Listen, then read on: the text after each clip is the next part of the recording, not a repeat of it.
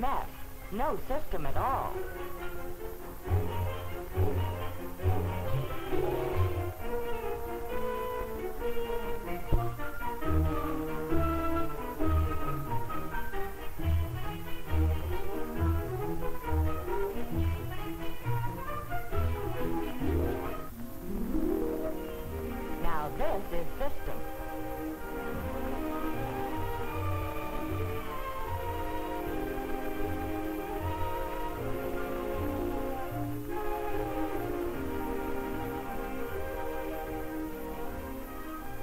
This is system two.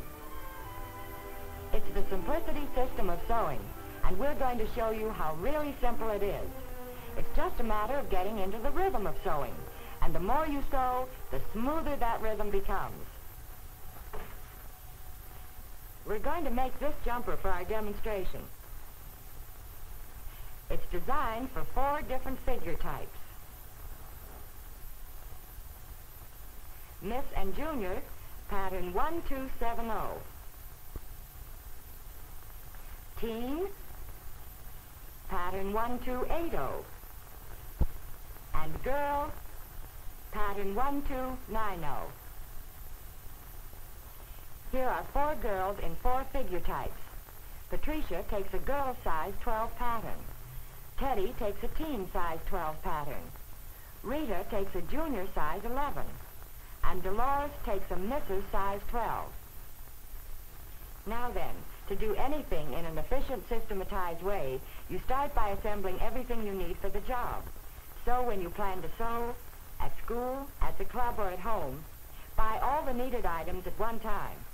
Your pattern first, then the fabric, then the thread, zipper, trimming, or whatever necessary items are listed on the back of the pattern envelope. And when you are ready to work on the garment, do as Janice has done. Get everything together in one place near your sewing machine. Janice will make this jumper for you, and here are her matching thread, a neckline type zipper for the placket, and all her sewing tools. When she pinned her pattern to the material, she made sure it was laid on a straight grain. And when she cut, she cut with the fabric grain. Arrows printed on the pattern seam line point in the direction that is with the grain. After she cut, she used dressmaker's tracing paper to put the dart markings shown on the pattern onto the wrong side of the fabric, and she also marked the seam line ends. The markings you see here are actually much heavier than you'd make them yourself, because we want them to show plainly. She assembled her work in units, all the bodice pieces in one pile, all the skirt pieces in a second pile, and until she is ready to work on each piece, she leaves the pattern pinned to it.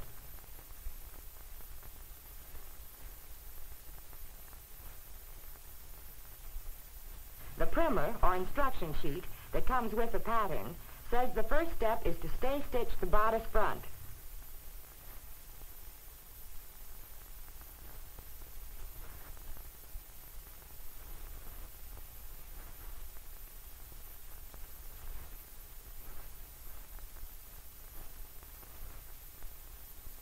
Janice will do all her stitching with white thread so you can see it clearly.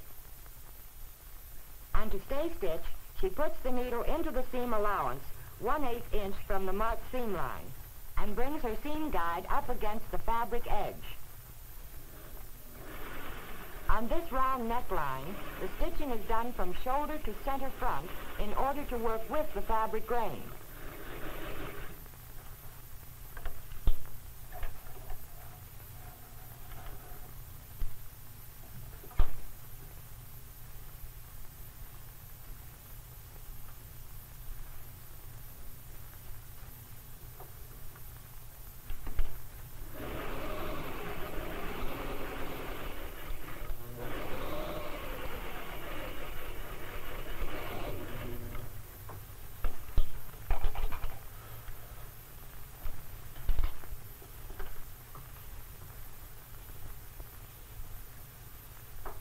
And now her stay stitching is finished on the bodice front. The next step is to make the underarm and waistline darts. She first folded and pressed the material on the straight line in the center of the dart. Now she pins it.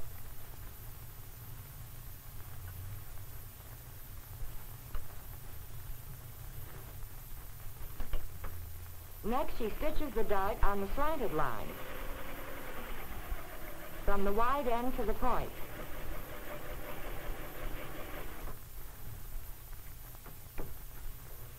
She fastens the thread at the point by back stitching, or you could tie the threads if you prefer.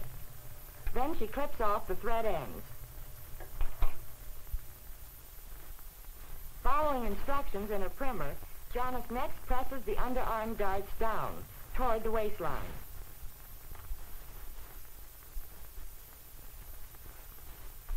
The waistline darts are curved darts, so the wide end is trimmed.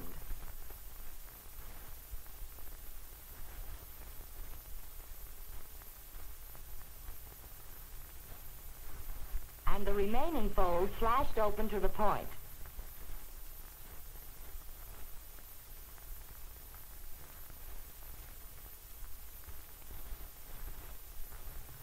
The dart is pressed open.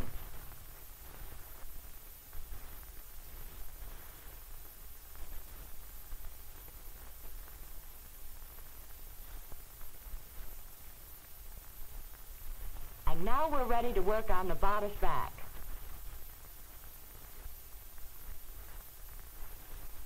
The same work is done on the back bodice as was done on the front. First, the stay stitching on the neckline on the shoulders, around the armholes, and on the left side where the zipper will go. These waistline darts are straight darts, so they are not trimmed, but simply pressed toward the center. The front and back neckline facings are now stay-stitched exactly like the bodice neckline.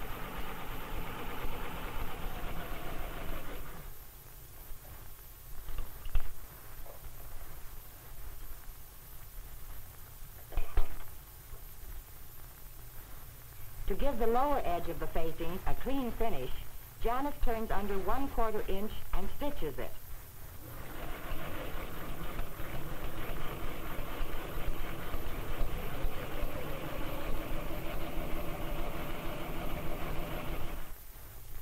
She's now ready to join the facings to the bodice, and she starts with the front.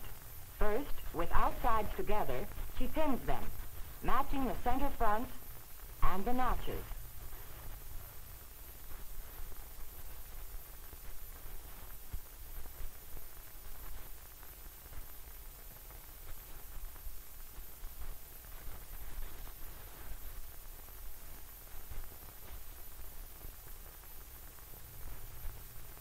Stitch, she works with the bodice side up.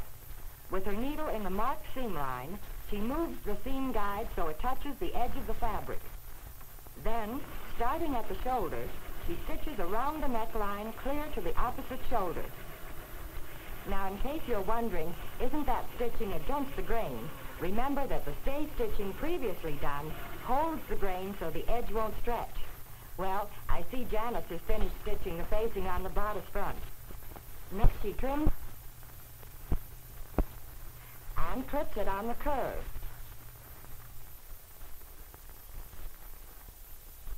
Now she'll show you a little trick for getting a cleaner line when the facing is turned to the inside.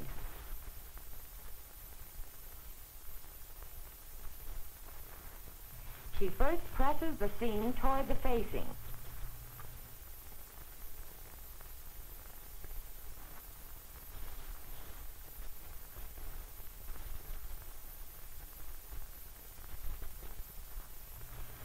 And then top stitches the facing to the seam. Notice that she works with the facing side up. Then she's sure the facing is spread out smoothly. Exactly the same work is done with the back facing and back bodice.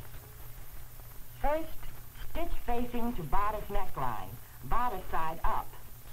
Then trim and clip the seam. Next, Press the seam toward the facing, and then top stitch the facing to the press seam.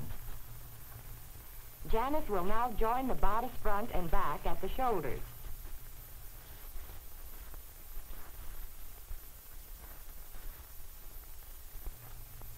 First, she pins the seam with outsides together.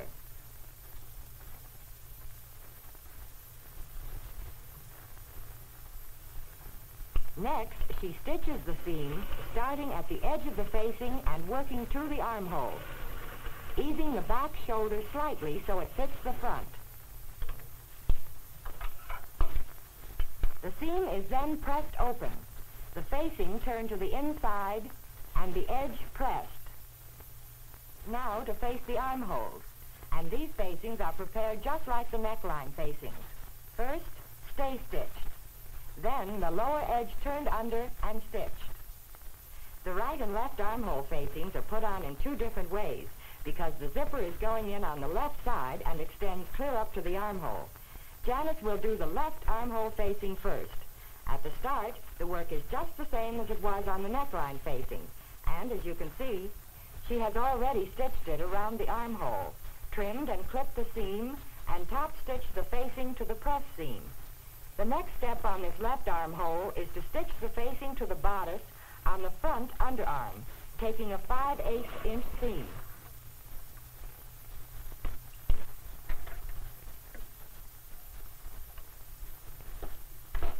Then on the back underarm, the facing is stitched to the bodice in a 1 half inch seam.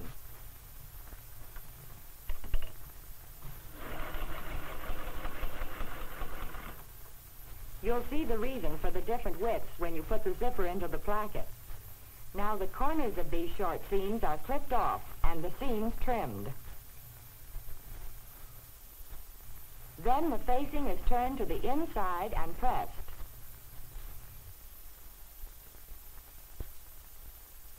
And tacked at the shoulder to the neckline facing.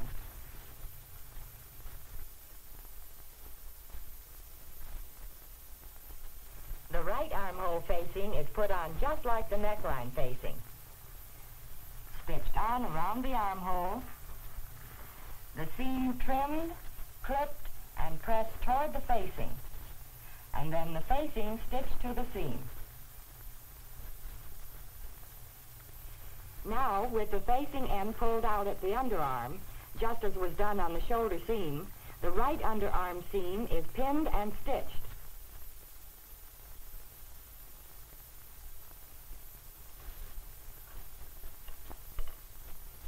Starting on the facing and stitching all the way to the waistline. This seam is then pressed open, the facing turned inside and tacked to the underarm seam and to the neckline facing at the shoulders. So now the bodice unit is completed and Janice is ready to work on the skirt unit. She'll start by stay stitching the skirt front waistline.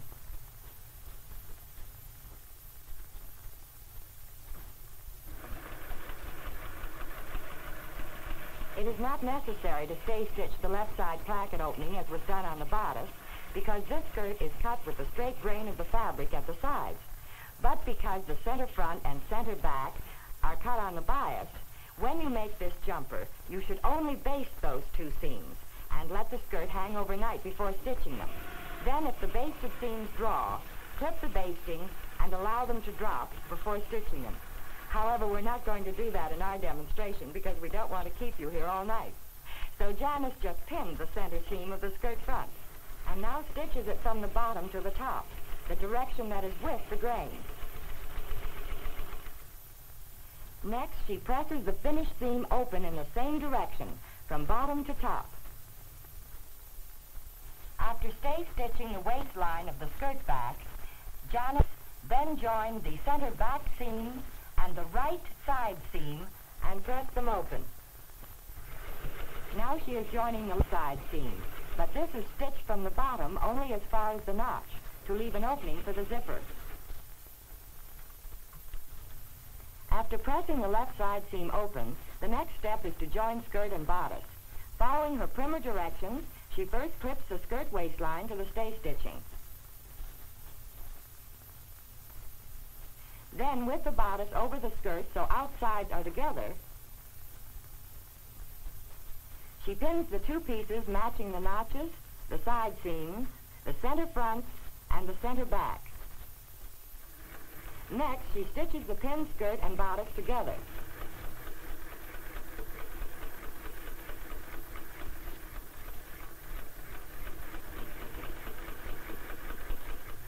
and presses the seam up onto the bodice.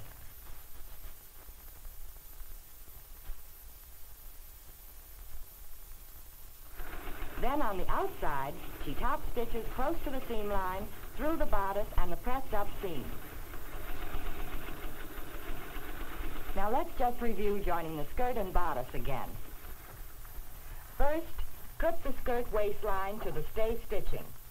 Second, with outsides together, pin bodice and skirt, matching notches, side seams, center fronts, center backs. Third, stitch the seam and press it up. And fourth, top stitch.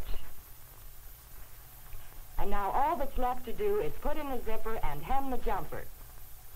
To prepare for putting in the zipper, Janice first pressed to the inside the 5 8 inch seam allowance on the front edge of the placket.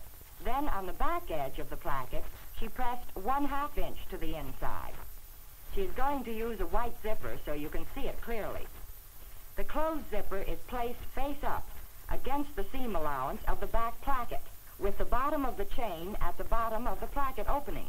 You can either pin or baste the placket to the zipper tape, easing the fabric to the tape. Janice will pin at the bottom and then just below the waistline seam. Then she turns down the top of the zipper tape, turning it toward the jumper fabric, and pins the top of the placket to the tape.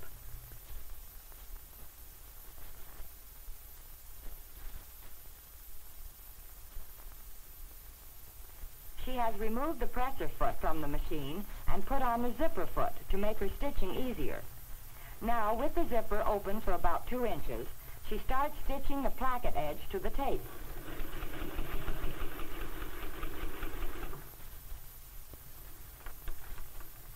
She closes the zipper when she has stitched down to where it was open and continues to the bottom of the placket.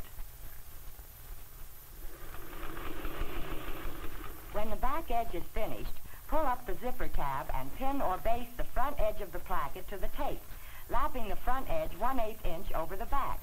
And be sure the waistline seam lines up on both sides of the placket. Starting at the top of the placket, about 3 eighths of an inch from the edge, stitch down to the bottom.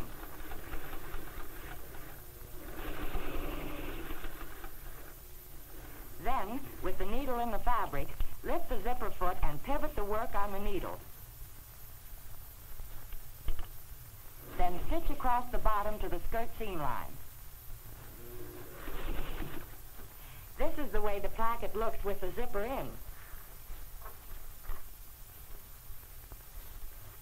At the top, you sew on a small hook and eye. Next, have an even length from the floor marked on your skirt. Then put in your hem. You can finish off the hem edge in different ways depending on the material you use. On cotton, you could turn under the raw edge, stitch it, and slip stitch the turned edge to the skirt, like this. On jersey or heavy tweed, a good finish is to make a row of stitching about a half an inch from the edge, and then pink the edge and catch stitch it to the skirt, like this. On light wools or rayon or silk, a nice finish is to stitch bias seam tape to the edge and hem the tape to the skirt, like this. When the hem is finished, so is the jumper, except for a final light pressing. Now, wouldn't you like to see the finished jumper? Of course you would. And here it is, on the same four girls you saw before. Don't you agree that it is very becoming to all of them? Three of the jumpers are shown just as you saw it made, but the one worn with the black sweater has pockets on the skirt. You can put them on or not, just as you like. Don't you think anybody could make a jumper like that? It's so easy to do. I know you'll find it so if you just follow the simplicity system of sewing and get into that smooth sewing rhythm. Now, would you like to see some other kinds of jumpers that fit beautifully into a smart modern Miss wardrobe?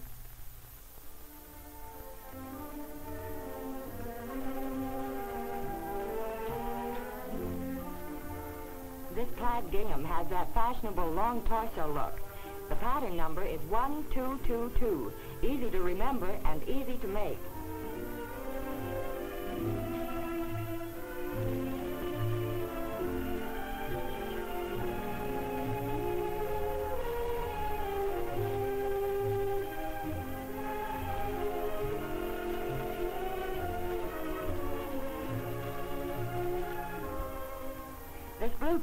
Ready for a date with its filmy organdy blouse.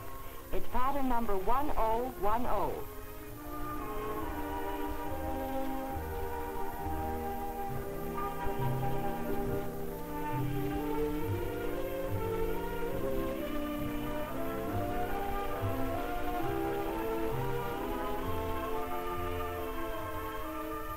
And doesn't this red velveteen have a look of elegance? It's the same pattern as the first one you saw, in plaid gingham, number 1222. But doesn't it look different?